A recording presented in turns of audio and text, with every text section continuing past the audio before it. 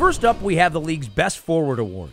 The four finalists for the 2017 2018 ECAC Hockey Best Forward Award are Carly Bullock from Princeton, Jessie Eldridge from Colgate, Loren Gabel from Clarkson, and Kristin O'Neill from Cornell.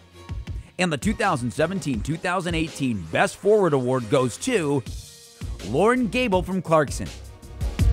The junior forward was at or near the top in every league offensive category, scoring at least a point in 18 of Clarkson's 22 league games.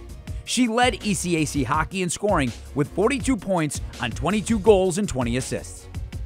She recorded 121 shots in league action and was a league leading plus 35.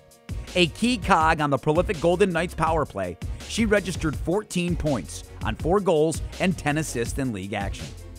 Heading into championship weekend, Gabel ranks third in the nation in overall scoring, averaging nearly 2 points per contest on 69 total points. The 2017 2018 ECAC Hockey Best Forward, Loren Gabel.